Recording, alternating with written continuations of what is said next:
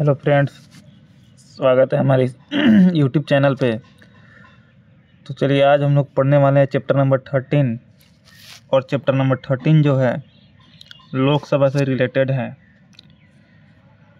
तो देखिए, लोकसभा का गठन कब हुआ? तो लोकसभा का गठन 17 अप्रैल उन्नीस सौ बानवे में हुआ। कब हुआ? सत्रह से, सत्रह अप्रैल उन्नीस सौ बानवे में। और इसकी प्रथम बैठक जो है, प्रथम बैठक 9 अप्रैल उन्नीस सौ बानवे, उन्नीस सौ बावन को 9 अप्रैल उन्नीस सौ बावन को हुआ। गठन याद कर लिए गठन हुआ कितना? सत्रह अप्रैल उन्नीस सौ बानवे और बैठक हुआ नौ नौ मई उन्नीस सौ बानवे, ठीक है? उन्नीस मई, देखिए। अब अनुच्छेद कौन से में आता है? तो अनुच्छेद आठ में आता है। अनुच्छेद आठ में ये आता है। फिर देखिए, मूल संविधान में सीटों की, मूल संविधान यानी ओरिजिनल कॉन्स्टिट्यूशन की बात कर रहा है। मूल संविधान में सीट कितने हैं? तो पाँच सौ है। कितना है? पाँच सौ है। फिर देखिए। अब नोट में कुछ करके है। सत्रहवा सत्रहवा अमेंडमेंट उन्नीस सौ छप्पन के तहत सीट कितना? तो पाँच सौ। पाँच सौ से इंक्रीज कर दिया गया कितना? पाँच सौ पच्चीस किया गया। फिर देखिए, इकतीसवा, उन्नीस सौ इकतीसवा अमेंडमेंट उन्नीस सौ तिहत्तर। के तहत फिर बढ़ाया गया कितना पाँच सौ पच्चीस से कर दिया गया कितना पाँच सौ पैंतालीस। फिर देखिए अपना देखते हैं, उन्नीस सौ सतासी में पाँच सौ बावन किया गया। अधिकतम सीटें की बात करें तो लोकसभा में अधिकतम सीटें जो है कितना है तो पाँच सौ बावन है। कितना है? पाँच सौ बावन। फिर देखिए जिसमें से पाँच सौ तीस जो रहेगा राज्यों से, बीस यूटीज से, फिर अपना दो क्या चीतों? Anglo Indian. दो अपना एंग्लो इंडियन से ठीक है? चलिए नेक्स्ट देखते हैं। करा, एक सौ चारवा संविधान संशोधन अधिनियम 2019 अनुच्छेद 331 हटाया गया। यानी अनुच्छेद एक सौ तिहत्तरवा, एक सौ, कौन सा तो एक सौ चारवा संविधान संशोधन के तहत अनुच्छेद तीन सौ इकतीस को क्या कर दिया गया, हटा गया, हटा दिया गया। फिर देखिए एंग्लो इंडियन राष्ट्रपति मनोनीत करते हैं। एंग्लो इंडियन क्या होता है? जो राष्ट्रपति के द्वारा मनोनीत किया जाता है, ठीक है? फिर देखिए, यहाँ पे एंग्लो इंडियन एक क्या है? एंग्लो इंडियन क्या होता है? तो एंग्लो इंडियन ऐसे व्यक्ति, ऐसे ऐसे विदेशी व्यक्ति जो विदेश से आकर भारत में बसे हो, जिनके पूर्वज विदेश, विदेशी हैं। ऐसे व्यक्ति जो विदेश से आकर कहाँ बसे हो तो भारत में बसे हो। जो भारत, जो भार या जिसके पूर्वज क्या हो, विदेशी हो, ठीक है?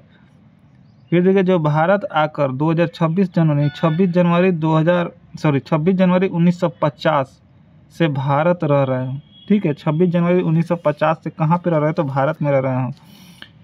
इन्होंने भारत की नागरिक, जिन्होंने क्या की हो, भारत की नागरिकता ली हो, ठीक है? यहाँ पे जिन्होंने होगा, चलिए। फिर हम लोग देखते हैं यहाँ पे। वर्तमान में कितने सीटें तो वर्तमान में अपना पाँच सौ तैंतालीस है, जिसमें से पाँच सौ चौबीस राज है, राज्य से है और उन्नीस से क्या है? तो यूटीज है चलिए नेक्स्ट पेज पर आते हैं हम लोग। देखिए, लोकसभा के लिए योग्यता की बात कर रहा है, यानी क्वालिफिकेशन ऑफ़ लोकसभा। लोकसभा की योग्यता देखिए, अनुच्छेद चौरासी के तहत, अनुच्छेद चौरासी में क्या रखा गया है? तो लोकसभा की योग्यता। सबसे पहली बात पहला नंबर में क्या रहना चाहिए? तो भारत का नागरिक होना चाहिए। आयु कम से कम पच्चीस होना चाहिए लोकसभा अध्यक्ष के लिए। अन्य नाम देखिए लोकसभा को कितने नाम से जाना जाता है ये हम लोग जानेंगे। निम्न सदन बोला करते हैं लोअर हाउस बोलते हैं प्रिय सदन बोलते हैं और और ये रहा अपना लोक स, लोक सदन भी बोला करते हैं। क्या बोलते हैं? लोक सदन और एक हो गया लोकसभा। देखिए कितना हो गया? एक दो तीन यानी दो तीन, चार, एक पाँच नाम से जाना करते हैं। फिर देखिए, अनुच्छेद तिरासी क्या करा? अनुच्छेद तिरासी के एक में लोकसभा के सदस्यों का कार्यकाल। लोकसभा के सदस्यों का सदस्यों का कार्यकाल लोकसभा या राज्यसभा। ठीक है। लोकसभा का सदस्यों का कार्यकाल कितना होता है? तो पाँच साल तक के लिए होता है। कितना? पाँच साल तक। लोकसभा या राज्यसभा के लिए। फिर देखिए नियोगता यानी डिसक्वालिफिकेशन की बात कौन से अनुच्छेद में किया गया तो आर्टिकल 101 से 102 में। फिर देखिए, सदस्यों को हटाने का अधिनियम, सदस्यों को हटाने का अधिनियम आर्टिकल 103 में रखा गया है।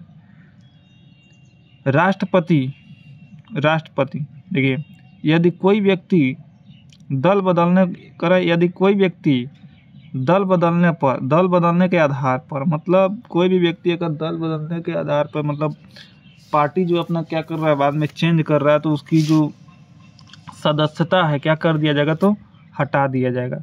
फिर देखिए हम लोग देखते हैं निर्णय लोकसभा स्पीकर द्वारा, यानी ये जो निर्णय लिया जाता है, किसके द्वारा तो लोकसभा के जो स्पीकर होते हैं, उनके द्वारा, राज्यसभा के, राज्यसभा में सभापति के द्वारा, ठीक है? अब देखिए क्या करा है, बावनवा अमेंडमेंट ए उन्नीस सौ पचासी के तहत दसवीं अनुसूची को जोड़ा गया है। कौन सी अनुसूची को सूची को? तो दसवीं अनुसूची को जोड़ा गया।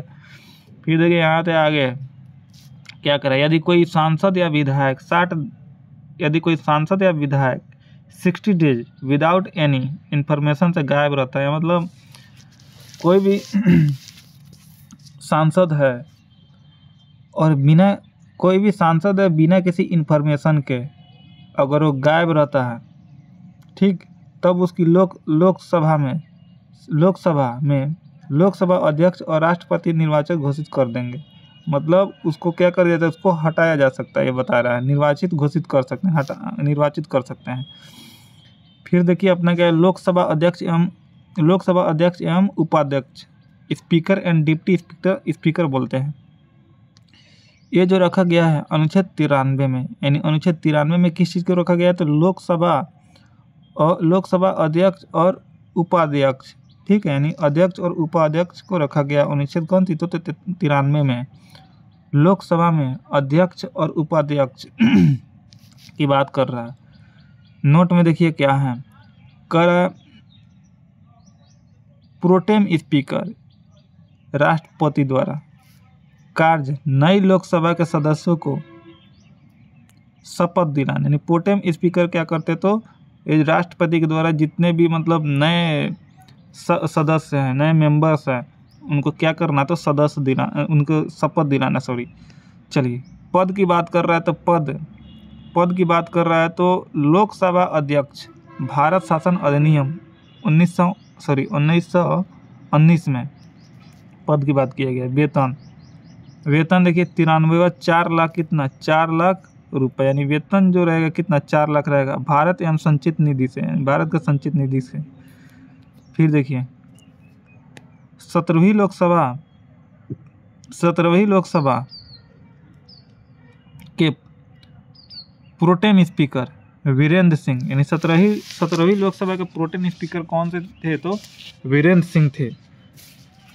प्रथम लोकसभा, प्रथम प्रथम लोकसभा अध्यक्ष तो जीबी मावल मावलंकर मावलंकर, यानी प्रथम लोकसभा अध्यक्ष कौन है? कौन थे? तो जीबी मावलंकर थे। उपाध्यक्ष कौन थे? तो एम ए आयंगर। कौन थे? M A Ayyangar. फिर देखिए, वर्तमान में कौन है? तो ओम बिरला है। क्या है? ओम बिरला है। लोकसभा के अध्यक्ष अभी हैं। कौन भी है? तो ओम बिरला अध्यक्ष। उपाध्यक्ष कौन है? तो उपाध्यक्ष हो गए। उपाध्यक्ष अभी रिक्त है। चलिए फ्रेंड्स उम्मीद करते हैं सारा चीज़ समझ में आया होगा। समझ में आया तो लाइक शेयर एंड सब्सक्राइब करें।